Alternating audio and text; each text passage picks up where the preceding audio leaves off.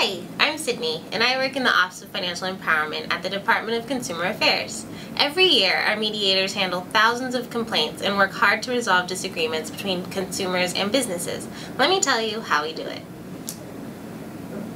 First, we license 55 different industries, from home improvement contractors and tow truck companies to parking garages and lots and used car dealers.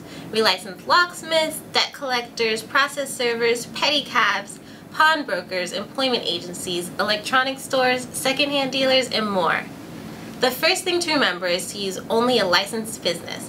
All you have to do to check if a business is licensed is go to Instant License Check on the upper right hand corner of our homepage or call 311.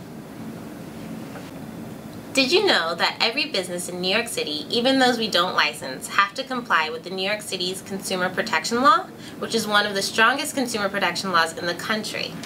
The law prohibits businesses from engaging in illegal behavior like false advertising or making special offers with hidden conditions. We've heard complaints about stores that post large signs in their windows promising 50% off and in tiny below note that the offer is only good on the second item you buy. Others report stores that have a going out of business sign in their window year round to lure shoppers into buying products. Most businesses try to be fair to their customers, but there are a few things that you can do to protect yourself from those that don't. Like always shop around and compare prices to make sure you're getting the best deal. Before making a big decision, like choosing a home improvement contractor, ask for references from other clients and talk to them about what their experience has been.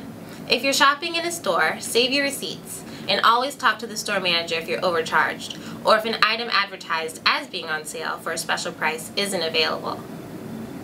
Check out our Smart Shopping Tips video to learn more about what your rights are and how you're protected. Our website also offers guides and tips for hiring a home improvement contractor, planning a funeral, shopping at the supermarket, buying electronics, using employment agencies, dealing with debt collectors, preventing identity theft, and more. If you feel you've been wronged by a business, file a complaint with us, either on our website or by calling 311. Online, you can file a complaint in English, Spanish, Chinese, Korean, Bengali, Haitian Creole, and Russian. And 301 operators have access to more than 170 languages.